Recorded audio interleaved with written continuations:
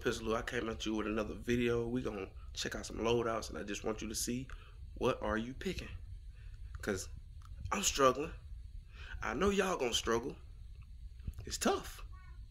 But let's get to it.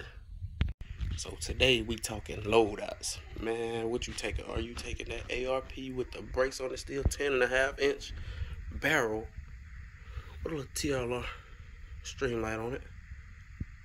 And a Sealy Optic 60 round with the Springfield XDM 10 millimeter compact with the 15 round, or you taking the 300 blackout, just shorty, 5.5 inch barrel with the Olight Baldr Pro and the Crimson Trace red dot with just the 30 in it and the FN 509 tactical compact with the 15 in it.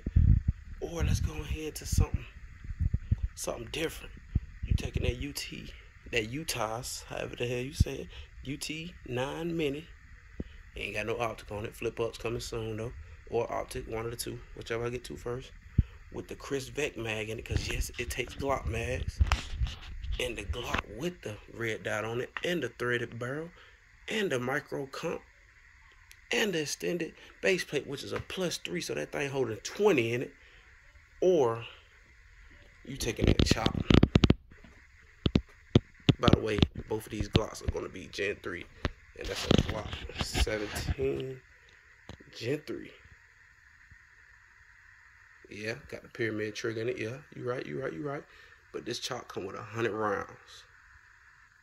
And it got the brace on it. SIG brace. Hundred round drum.